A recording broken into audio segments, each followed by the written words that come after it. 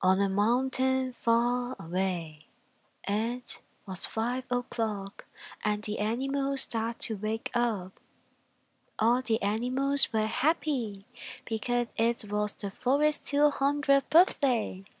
The animals were happily making yummy food like cookies and cake. Other animals were making, packing, and wrapping gifts for the wise old tree.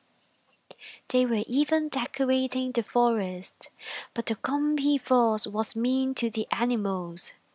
He took cookies and ate them. He took gifts and opened them.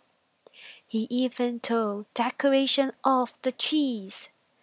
The wise old tree saw this and asked the fox why he did this. The fox said, because I don't have any friends and nobody invited me to your birthday party. The tree said, Everybody was invited to my birthday party.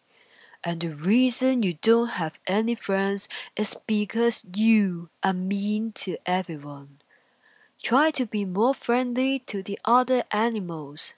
I promise all of them will want to be your friend. Oh, and I will be your friend if you do as I say. The fox agreed, and all of the animals and trees were the fox's friends, so they lived happily ever after.